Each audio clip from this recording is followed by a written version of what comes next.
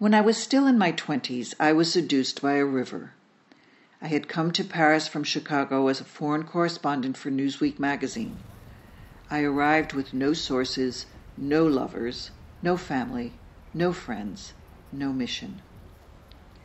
I found two sources of support. The first was Madame, an elderly French tutor who gave me conversation lessons every Saturday morning. The second was the Seine River.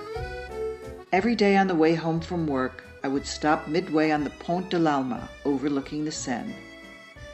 I found comfort in the river's calm and steady flow to its certain destination. As the sun set, I took in the scenes along the river the tourist boats filled with visitors, the quiet grandeur of the structures on the upper level of the river banks. Downstream, the Eiffel Tower peeked out from behind the greenery. The river allowed me to begin a journey of discovery of Paris, of the French people, of myself. Its energy pumped deep into my veins. Its light gave me strength.